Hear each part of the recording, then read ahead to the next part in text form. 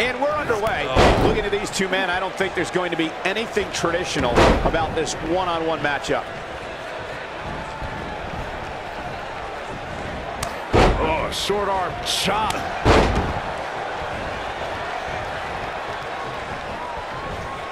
Nailed it.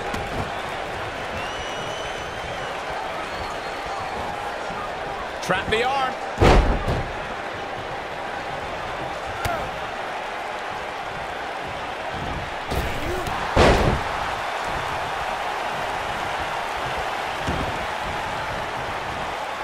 The last time we saw this superstar compete, we witnessed what many are calling a potential match of the year candidate. And I can't say that I disagree.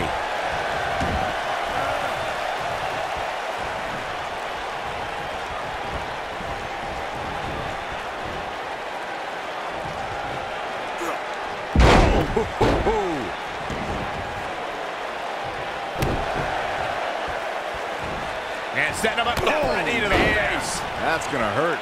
If the last match does end up taking home the match of the year at the Slammies this year, it would be joining some incredible companies such as John Cena versus The Rock in 2013 and Shawn Michaels versus Bret Hart in 1997.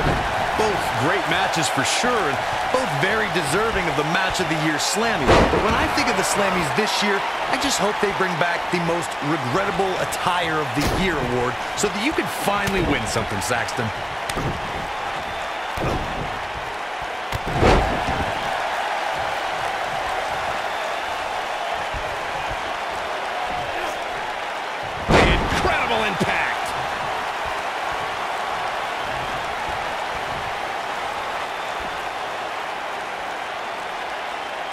It's no secret, guys, that the last man standing match tests a superstar like no other contest.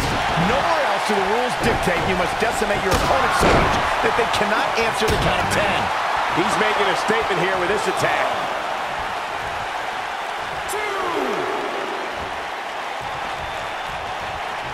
What is Buzz having? Spine Buster.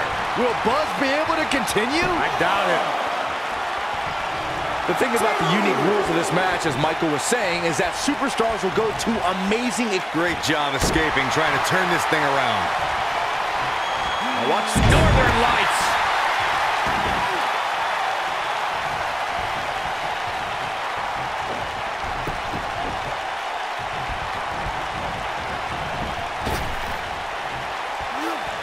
Oh, Buzz just barely got out of the way.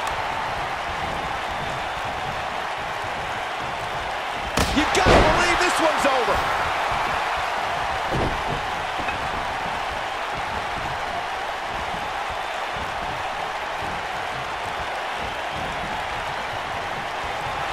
Lightning fast reflexes. Oh boy,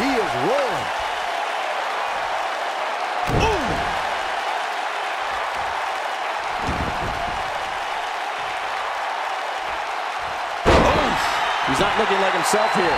We all know, though, this guy has plenty of fight left in him. Hey, you're going to absorb some punishment in a wrestling match. It just goes along with the territory, and he knows that.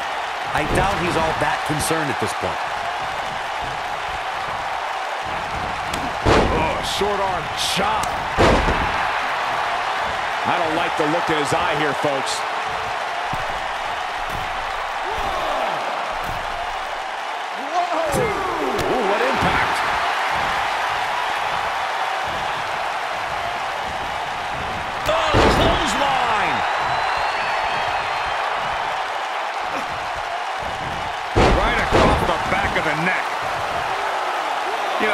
Say matches like this really drive superstars to take risks they normally wouldn't take. An example that immediately comes to mind would be Shane McMahon's actions in Unforgiven in 2003.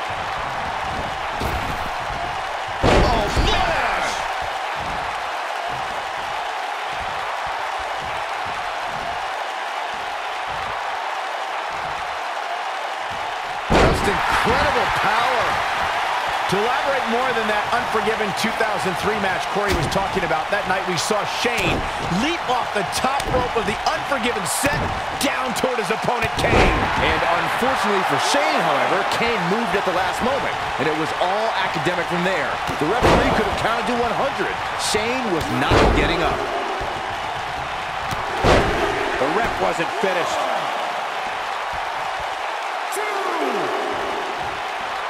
He's stalking his opponent from the top turnbuckle. Following an amazing performance in that last match, I'd say this superstar comes into tonight with a ton of momentum. Oh boy, he is rolling. Man, let the ref do his job. What does Buzz have in store? We're, about to find out. Oh, he's gonna do it! Buster. Rollins fans have plenty to worry about here.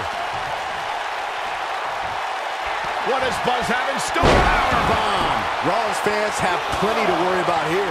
There's no shortage of momentum heading into this match tonight, as Byron was saying earlier. But Corey, I'd be interested in your take on just how important momentum really is.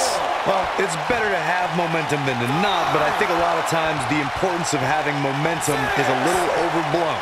In reality, it all depends on who you're in the ring with. I mean, if you beat 10 ham and eggers, you have momentum, but all that momentum means nothing if your 11th match is against an all-time great. He's done it and stands tall over his competition. Let's take another look at the incredible hardcore action. That was just one of those matches that the men involved should just be proud to be a part of. A legendary performance.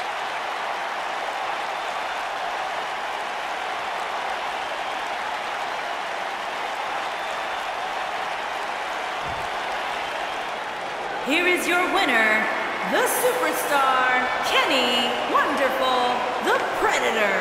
That's an impressive win right there. Seth Rollins can't be pleased with his performance here tonight. He won't be. As we close the book on this match, I need to remind everybody just how big of a win this was. Simply amazing.